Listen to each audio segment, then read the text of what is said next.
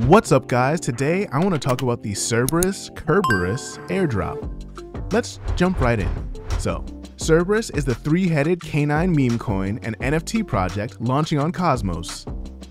We scroll down, you can actually see here that they plan to drop 71% of their supply in airdrops. 70, let that sink in for a second. 71%. 6.19% is going to the team. The community pool is 11.3, and then the growth fund is also another 11.3%. Wild, right?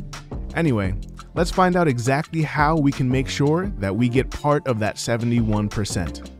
Alright guys, so let's take a look at what Cerberus is. The Cerberus NFT project will follow up the Cerberus mainnet chain launch in 2022. The Cerberus airdrop, pronounced Kerberos, will be dropped to those staking slash delegating Chihuahua, Osmosis, and Cosmos. Cerberus will be a community-led meme coin that will allow the community to vote on various proposals on the future use of the coin. The Cerberus blockchain is a completely permissionless blockchain where anyone can join the network and run a validator. The community will have the ability to gain value from the coin by staking Cerberus with validators and liquidity pools. The first planned liquidity pool will be a Cerberus Chihuahua LP.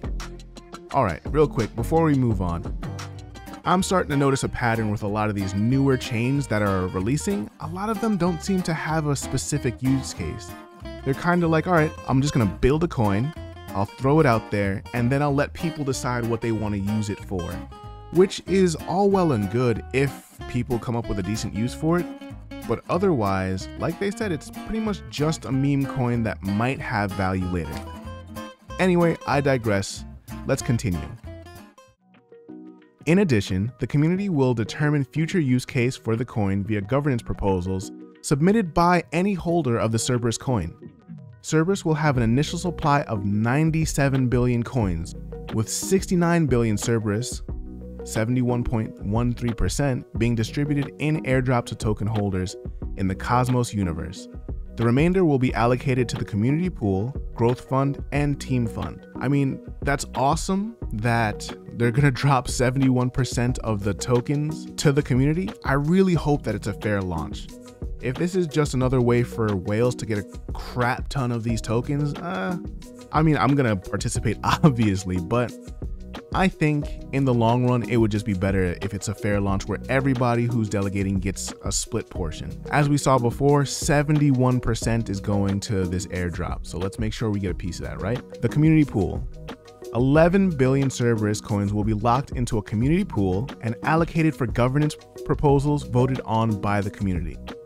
Another 11 billion Cerberus will be allocated to the growth of the Cerberus ecosystem. Smash that like button and subscribe for more great videos like these. And if you want to chat, join the Morecoin Discord. It's a great place to learn from and talk to other DeFi and yield farming enthusiasts. And best of all, it's completely free. Alright, back to it. Which usually means like partnerships, providing liquidity incentives, that kind of thing airdrop pool. 69 billion Cerberus will be allocated to airdrops. Atom, Osmosis, and Chihuahua delegators will receive airdrops. We will release more details of exact airdrop ratio to Chihuahua, Osmos, and Atom holders as we get closer to the snapshot dates. Alright, so what this means is that the snapshot hasn't been taken yet. So if you're not staking Atom, if you're not staking Osmos, if you're not staking Chihuahua, now is the time to do it so that you can make sure you're staking by the snapshot date. We never know beforehand when the snapshot's gonna happen. Hopefully, you're able to get in before this happens. Now let's take a look at the team fund. 6 billion Cerberus will be allocated to the team. The first team vest date will occur 6 months after mainnet launch. The team fund will vest over a 24 month period. The exact vest dates and amounts will be updated here after mainnet launch. There will be two types of airdrops, giveaway airdrops and airdrops to those who have staked to validators. Giveaway airdrops are for completing tasks and token airdrops are for those staking tokens in the Cosmos ecosystem. Chihuahua delegators will get 27 billion Cerberus. Osmos delegators will get 20 billion, and Osmos delegators will also get 20 billion. Like they said before, the exact ratio of the airdrop will be determined after the snapshot is taken. It looks here like they've set aside 2 billion Cerberus for giveaway airdrops. Note that the airdrops will only be available to those who self custody their assets. That means if you hold Chihuahua, Atom, or Osmosis on any centralized exchange, like Coinbase, Binance, etc., you will not be eligible for the Cerberus airdrop. So make sure that you're using your own like Keplr wallet. I have another video I'm working on and exactly how to set that up. So check that out if you haven't already set up a Keplr wallet. All right, so it looks like Cerberus's mainnet launch is going to be on March 15th. As of right now, it seems that there is no minimum you need to stake in order to receive the airdrop. So even if you can just get one of each of these staked, you should at least be able to participate. So it looks like the Huahua snapshot is going to be early in March. So I was just going through the um, frequently asked questions, and here's one that says, Why not give everyone the same amount no matter how much they're staking? Well, they say there's there are multiple reasons behind our reason for doing the airdrop this way. Those who are early supporters of the network, such as Huahua, Atom, and Osmo, and invested in securing those chains by staking based on the merit of their efforts. We don't believe in getting something for nothing. Avoids individuals trying to game the system by creating multiple wallet addresses and staking the minimum to claim an airdrop numerous times in different wallets. So the second point, that makes sense to me.